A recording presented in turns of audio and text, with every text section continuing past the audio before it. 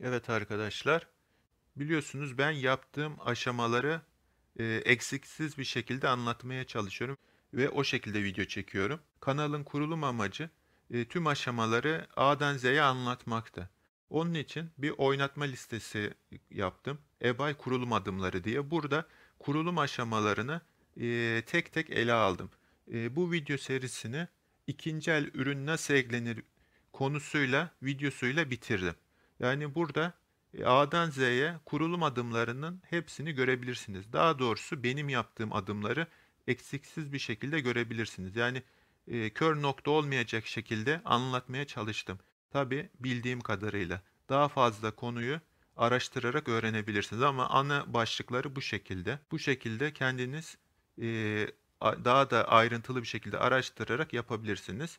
Tüm bölümleri dediğim gibi bu oynatma listesinin altında görebilirsiniz. Daha sonra eBay satış adımları diye yeni bir seri oluşturdum. Dediğim gibi ben çok hızlı hareket etmiyorum. Ee, eBay'da sıkıntı yaşamamak için ilk 3 ayımı böyle sakin bir şekilde ilerletiyorum. O yüzden burası çok e, yeni videolar yer almıyor.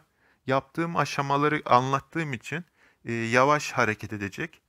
Burada da ürün nasıl eklenir, sonra tedarikçi listeleri, ardından eBay açıklama bölümleri yani eBay listeleme aşamalarını anlatan 3 videom var. Burası da ben satış yaptıkça ya da e, yeni şey e, işlemler yaptıkça videolarını çekeceğim. O yüzden burası çok hızlı ilerlemeyecek kurulum adımları kadar. E, yaptıkça burası devam edecek. Dediğim gibi oynatma listelerinde eBay satış adımlarını da takip edebilirsiniz. Bir kurs niteliğinde düşünün bu kanalı. Ee, ilk önce eBay kurulum adımları, daha sonra eBay satış adımları olarak ayrı ayrı kategoriler halinde çekiyorum.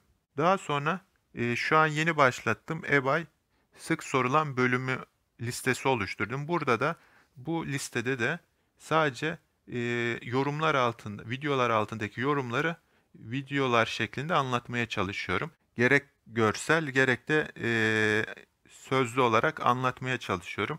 Buradaki videolar kısa videolar ve e, detaylı videolar olarak iki kategoride toplanıyor.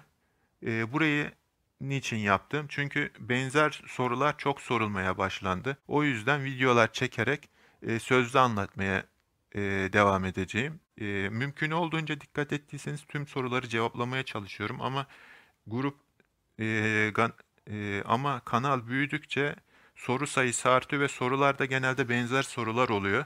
O yüzden video çekmeye karar verdim ve sözlü olarak anlatmaya çalışacağım.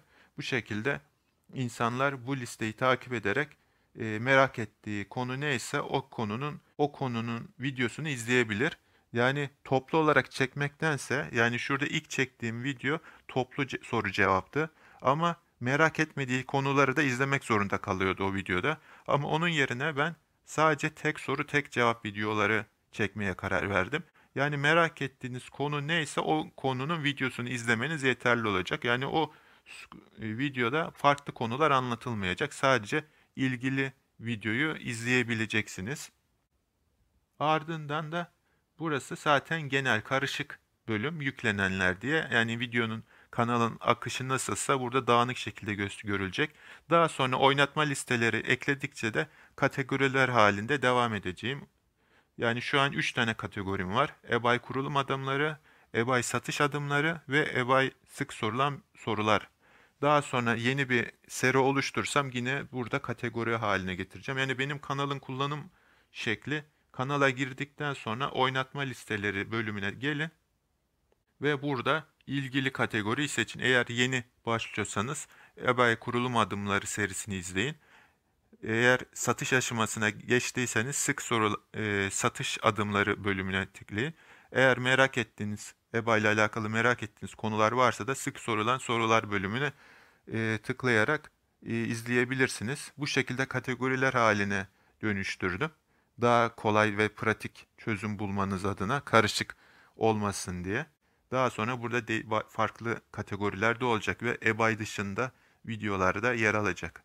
Sadece eBay konusunu ele almıyorum. Farklı konuları da ele alarak devam edeceğim. Dinlediğiniz için teşekkürler.